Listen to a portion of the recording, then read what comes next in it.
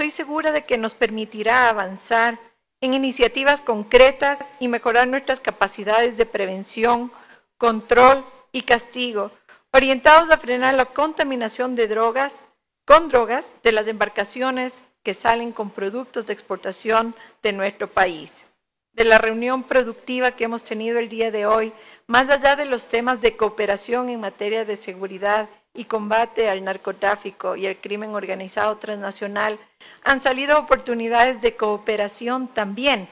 en cuanto a educación, en cuanto a migración eh, circular para buscar oportunidades de trabajo para nuestros jóvenes y otras áreas de eh, cooperación para llevar cada día más productos de forma segura en transporte seguro hacia Europa desde el Ecuador.